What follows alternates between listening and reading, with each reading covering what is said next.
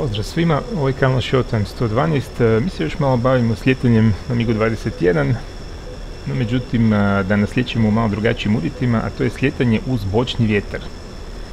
Sljetanje uz bočni vjetar je bitno kompliciranije od standardnog sljetanja, s obzirom da moglo bi se reći da imate još jednu dodatnu dimenziju koju morate voditi računa. E, naime, kad imamo snažan bočni vjetar, onda avion zapravo se ne kreće u smjeru u kojemu je usmjeren nos već e, vjetar ga gura u stranu.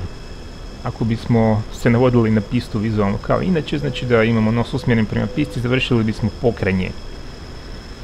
Imamo dvije nekakve osnovne metode kojim to možemo anulirati. Anulirati utjecaj vjetra. Prva metoda je uh, ona koja se na engleskom naziva crabbing. To je bila ime jer potiče na kretanje raka. Avion je zapravo krila su izravnata, ali nos je usmjeren u vjetar. Ne na samu pistu, nego pokraj piste. Druga metoda je uh, takozvani side slip, gdje je avion usmjeren prema pisti, uh, ali imamo bočni nagib u vjetar koji opet uh, neutralizira nekakav njegov efekat.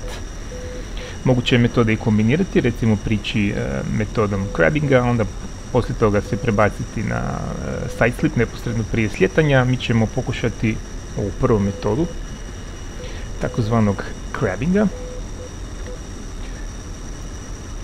Sada spuštamo se na pistu Nalčik, evo vidimo ju ispred nas, desno gore od pita cijevi.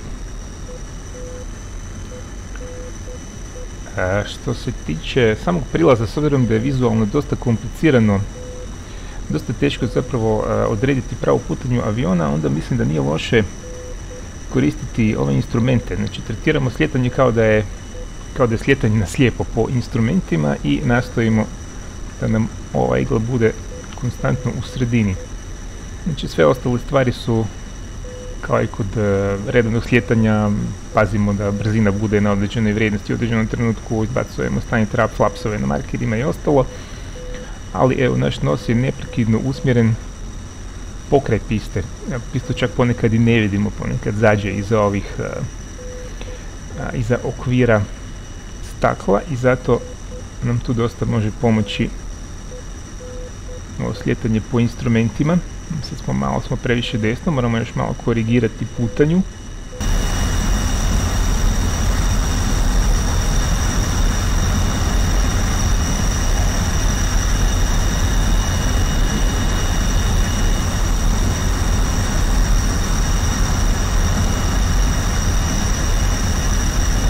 Sad vidimo pistu čak tu kroz ovaj bočni prozor. E, nakon što dotaknemo tlo, e, bit ćemo još malo usmjereni u lijevu stranu, e, potrebno je odmah nakon toga kormilom izravnati zrakoplov. Znači u suprotnom može doći do oštećenja stajnog trapa. Prelazimo dalje marker, izvlačimo flapsove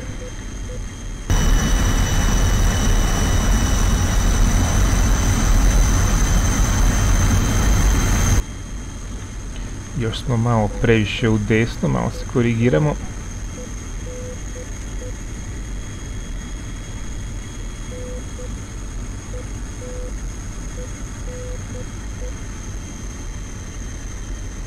Još malo bočne korekcije.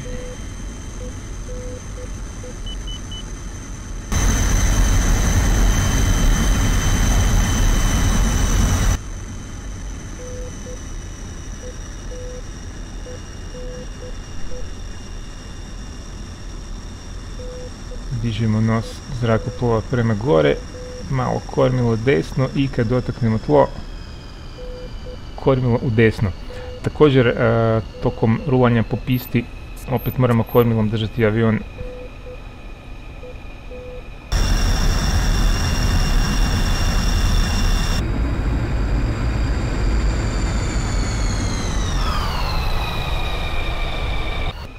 jer vjetar nas i dalje može e, prevrnuti. E, također ne smijemo koristiti padobran pri ovim brzinama vjetra, već kočimo isključivo kotačima.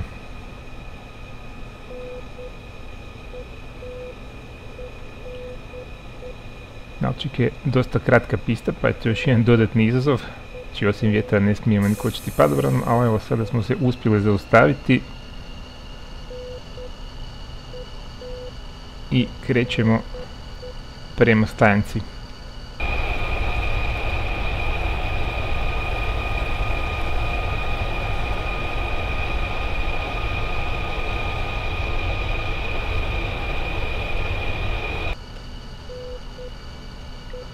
Znači da ponovimo još jedan put s ovom crading metodom cijelo vrijeme prilaza potrebno je ciljati ciljati negdje pokraj piste.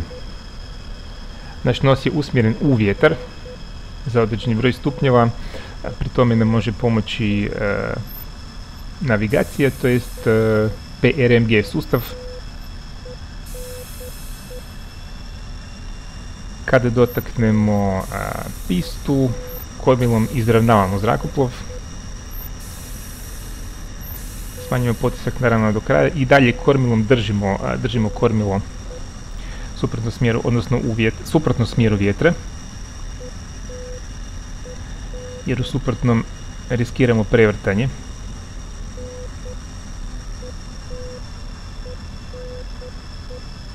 I tada jednostavno zaustavljamo zrakoplov do kraja kočnicama. toliko o sljetanju po bočnom vjetru. E, ova, ova vrsta sljetanja isto naravno zahtjeva dosta, dosta vježbe, možda čak i više nego obično. Formirajte si jednu jednostavnu trenežnu misiju i pokušavajte dok vam ne uspije. Ako vam se video svidio, naravno kliknite like, pretplatite se ako već niste i nastavite nas pratiti